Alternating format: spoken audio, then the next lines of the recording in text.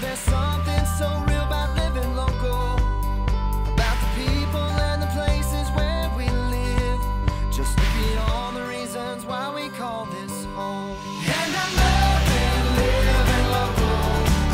I'm living local cause it's where I love to be. So we are here with Miss Selma. How are you doing? I'm doing great this morning. Well, Thank you. thanks for getting with us and kind of taking us a walk down memory lane today. It's so, pleasure. So right now we are in Market Common, and this is where the original credit union was, right? That's correct.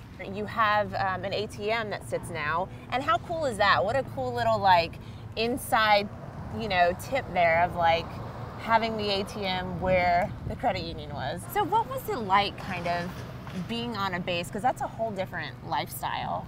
Sure is. And I didn't have any military background at all. Yeah. So it was a whole new world for me.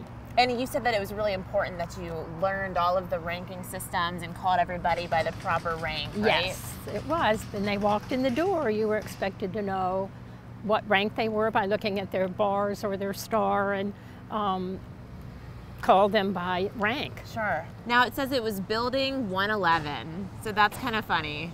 So all the buildings were numbered Were numbered, base, that's right? right. So it was mm-hmm. building 111 because it's number one. so now we are inside of the 21st Avenue branch, and so we're back with Selma in August. And so, you know, you are about to retire. What is kind of your, what's going through your mind? What's your thought process of leaving now? Mixed feelings. Yes. You know, I started to write my retirement letter and tears started to flow, so i I'm had sure. to stop and I'm sure. over because It's a long time. It is. It's um, been my way of life for 33 years. Well, I know behalf of all of us at Carolina Trust, we are, you know, so thankful for all the years that you've served with us and all the memories we made. You know, we will sure miss you, but we cannot wait to see you every time you come back to the branches to visit us. Hi, Miss Selma.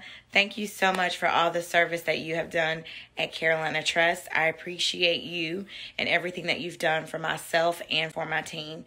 We will definitely miss you. Congratulations on your retirement, Selma. I wanted to take this opportunity to thank you for your love and your friendship and your inspiration over the years. I'm looking forward to spending time with you during retirement. Selma, we're going to miss you tremendously. You're one of our company's greatest assets. Thanks for being such a great colleague and friend over the years, and best wishes in your retirement.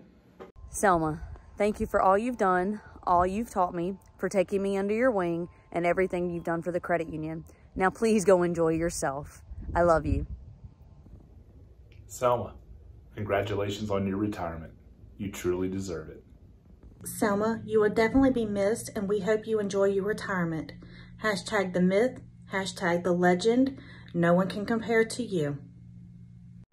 Selma, we have worked together for over 18 years, and during this time you have exemplified so many wonderful attributes.